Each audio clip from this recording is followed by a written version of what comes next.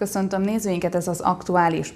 12 ágyal, két korteremmel működik a Békés megyei központi kórház Gyulai Pándi Kálmán tagkórházának gyermekosztályán az úgynevezett neonatális intenzív centrum, ahová azok a súlyos állapotú újszülöttek kerülnek, akiknél intenzív megfigyelésre és beavatkozásra van szükség. Nemrégiben olyan szoptató ágyak érkeztek az osztályra, amelyek segítségével az anya és gyermeke között szorosabb kötődés alakulhat ki. Erről beszélgetek mai vendégemmel, dr. Zátonyi Adéllal, neonatológus főorvossal. Köszöntöm stúdiónkban. Üdvözlöm. Ugye nem minden nap találkozunk a neonatális osztály munkájával. Milyen munka folyik itt, mi az, amit mindenféleképpen tudnunk kell erről? A megyében ez az egyetlen koraszülött intenzív ellátóközpont. A legközelebbi hasonló intézmények Szegeden, illetve Debrecenben találhatók és ezért a megyéből, illetve még akár a megyén kívülről is időnként a koraszülötteket hozzánk transportáljuk, vagy mi, vagy pedig más transport egységek. Ugye a koraszülött, koraszülöttekkel kapcsolatban mi az, ami nagyobb odafigyelést igényel? Tehát, ugye egyre gyakrabban történik az, hogy, hogy koraszülött egy gyermek. Mi az, amire nagyon oda kell náluk figyelni? Ö, tulajdonképpen az, hogy gyakoribb, nagyon igyekszünk ö, már a ö, várandós gondozás során a szülészekkel együttműködve a koraszülöttségi arányt csökkenteni. Erre vannak technikák, vannak módszerek, én azt gondolom, hogy a megyében mind a két szülésznőgyógyászati osztály partner ebben, és próbáljuk ezeket a technikáinkat javítani. Ennek ellenére 9-10 százaléka az újszülötteknek koraszülött. Azok a babák, akik 36. gesztációs hét előtt születnek, őket koraszülötteknek nevezzük, teljesen függetlenül attól, hogy milyen súlyjal jönnek a világra, hiszen mindig az éretlenség, illetve az érettség számít a mi szakmánk szempontjából egy koraszülött esetén. A kockázatot nyilván az éretlenségből adódóan az idegrendszernek, a tüdőnek, a bérrendszernek, az immunrendszernek a gyengessége, és ezáltal kitéve a betegségeknek a szövődmények magas kockázata jelenti. Ugye egy szó van arról is, hogy súlyos állapotú újszülöttek kerülnek ide. Ez mit jelent egészen pontosan? Mi, az, ami náluk felléphet ilyenkor? Egyrészt ugye külön kell vennünk akkor a szülötteket, hiszen az ő csoportjukon belül is vannak az igen-igen kis súlyú 1000 g alattiak, vannak az 1000-1500 g közöttiek, akik szintén még kis súlyúnak számítanak, de ők már egy picit szerencsésebb és jobb kilátású populáció, illetve ugye az 1500 g fölöttiek között is számos koraszülött van, de a koraszülöttek összességében a Um, ugye nagyon oda kell náluk figyelni, nagyon sok mindenre. Um, most kaptak szoptatóágyakat, ezek hogyan tudják a munkájukat segíteni?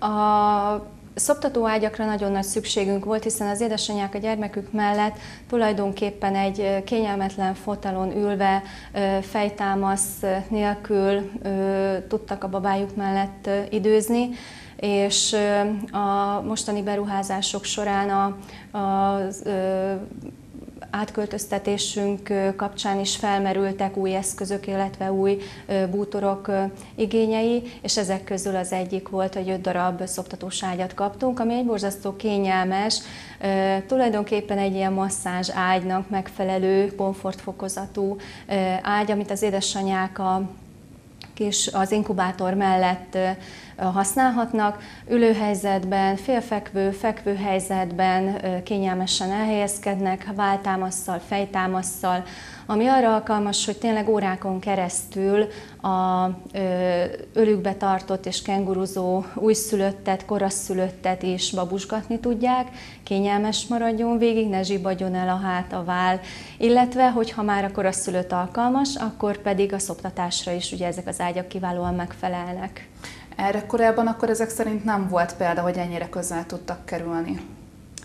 Volt példa, mert azért a kényelmetlenebb székeinkben is igyekeztünk ezt a kenguru módszert megvalósítani, de az az igazság, hogy egy kényelmetlen helyzetben sokkal rövidebb ideig, és sokkal rövidebb ideig tud nyugodt maradni mind az édesanyja, mind a kisbaba, és ennek megfelelően nem tudtuk azt a két-három órás kenguruzási intervallumot betartani, ami szakmai szempontból nagyon fontos volna. Évente egyébként az osztályon körülbelül hány koraszülöttet tudnak ellátni? Évente a koraszülött intenzív osztályon közel 300 gyereket látunk el, ebből nem mindenki koraszülött. Vannak érett, nagysúlyú babák, akik akár egy szívbetegség miatt, akár egy átmeneti oxigénhiány miatt, újszülöttkori görcsök miatt, vagy egy súlyos tüdőgyulladás, egy anyamékben szerzett súlyos tüdőgyulladás miatt mondjuk lélegeztetést igényelnek, illetve vannak olyan fejlődési rendellenességek, amik bizony kiderülve intenzív ellátást igényelnek. Ugye említette azt, hogy más megyékből is érkeznek ide Gyulára koraszülöttek. Mennyire gyakran fordul elő az, hogy, hogy a saját megyéjükben nem, nem tudják őket ellátni, vagy inkább az, hogy, hogy sokan vannak, tehát hogy mi az oka általában annak, hogy, hogy ide jönnek át Gyulára? Időnként van olyan, hogy a Szegedi, illetve a Debreceni Koraszülött Intenzív Központ megtelik, és nem tudja fogadni a betegeket, bár ez a ritkább eset, de minden ilyen intenzív osztálynak vannak fertőtlenítési periódusai, amikor le kell, hogy zárjon, és ez alatt nem tud beteget felvenni. Ilyenkor a környező többi ellátóhelyet kéri meg, hogy fogadja a betegeket, és ezért nagyon sokszor Csongrád megyéből vannak édesanyák, akik itt szülik meg a koraszülött babájukat, és itt várják ki a megnövekedést, vagy a felnövekedést. Az anyukák és a, a gyerekek mennyire sok időt, vagy mennyi időt tudnak egyáltalán egymás mellett eltölteni? Tehát, hogy milyen lehetőségeik vannak az osztályon? Igyekszünk nagyon-nagyon sok órát biztosítani az édesanyáknak. Szabad bejárása van a koraszülött édesanyának és édesapjának.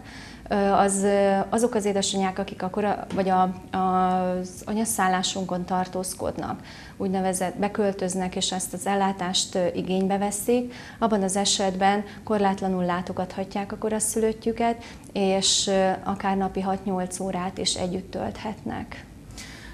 Mennyi időt szokott egyébként egy koraszülött gyermek eltölteni az osztályon? Ez attól függ, mennyire éretlen.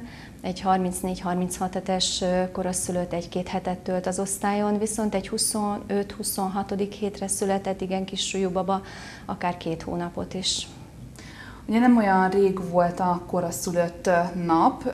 Mennyire tudják egy ilyen napon bemutatni azt, hogy milyen munka zajlik önöknél? Tulajdonképpen azok az édesanyák és családok, akik eljönnek erre a koraszülött napra, ők a saját bőrükön érezték és ismerik a munkánkat, a munkarendünket, tehát nekik inkább egy picit felidézzük, egy picit együtt újra megéljük ezeket az időszakokat, és én azt gondolom, hogy nagyon sok családban egy pozitív megerősítéssel jár ez a az együttlét, illetve ö, ö, program, hiszen a, a pozitív emlékeket, a jó kimeneteleket, és tényleg a, a, az örömperceit élik meg itt a családok. Azért nagyon fontos, hogy ők is, a nővéreink találkozhassanak, hiszen a koraszülött utógondozásban a nővérek nem vesznek részt, és ritkában látják azokat a nagyon kis jó újszülötteket, akik már ö, cseperednek, óvodáskorba lépnek, beszélnek, szaladgálnak, és ez mindannyiunknak egy nagy siker, hogyha egy-egy koraszülöttünket ilyen éppen egészségesen látjuk. Mennyire tudják egyébként utókövetni azokat, akik koraszülöttek van, voltak, tehát tudják őket egy picit követni, hogy hogyan alakul az ő sorsuk?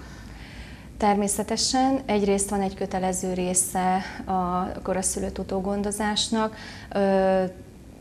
Mi igyekszünk minden 36. gesztációs hét előtt született koraszülöttet, tehát egy szélesebb spektrumba tartozó ö, csoportot követni.